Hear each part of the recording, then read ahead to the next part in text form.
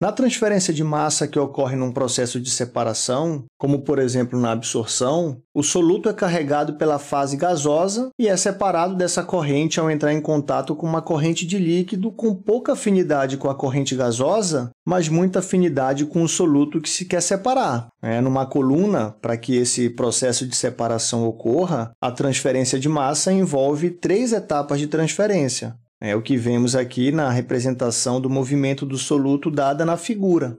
Temos a transferência do soluto do seio do gás até a interface gás-líquido, temos a transferência através da interface e, por fim, a transferência da interface até o seio do líquido. Esse processo pode ser explicado pela teoria das duas resistências. Ah, em tese, segundo essa teoria, o soluto encontra resistência à transferência de massa apenas nas fases gasosa e líquida, a teoria considera que não vai ter resistência aqui na interface. Então, por isso, temos três fases de transferência, mas apenas duas resistências. Considerando que não há resistência na interface, o gás de composição YAI estará em equilíbrio termodinâmico com o líquido de composição XAI, né, que são as composições na interface.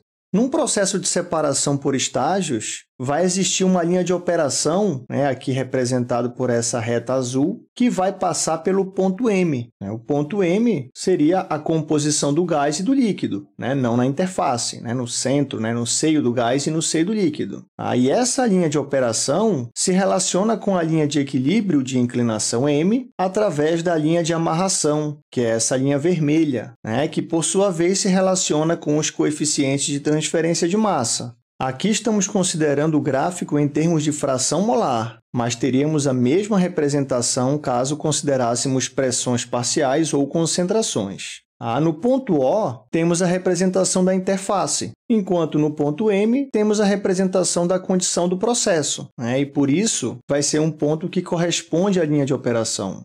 Ah, sob condições de estado estacionário, a taxa de transferência de massa na fase gasosa será igual à da fase líquida. Ah, e por isso, podemos igualar as equações 7 e 8 para chegar na equação 9.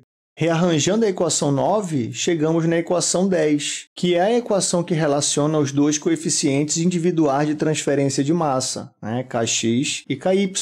Essa equação pode ser pensada como se fosse a inclinação de uma reta, que é a linha de amarração, que se estende do ponto de operação M, que faz parte da linha de operação, até o ponto da composição da interface O, em que a inclinação dessa reta é menos kx dividido por ky.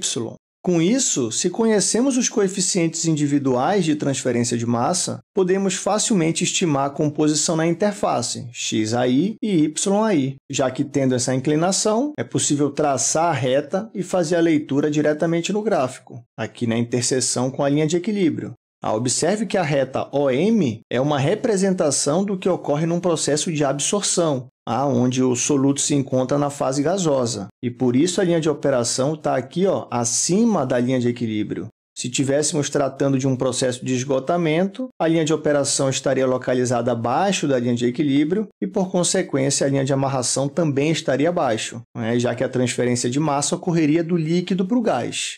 Veja que aqui teremos Kx e Ky porque estamos tratando de frações molares das fases. Ah, se estivéssemos considerando pressões parciais para o gás e concentração para o líquido, teríamos o mesmo gráfico, porém a equação 10 aqui ó, teria outro formato.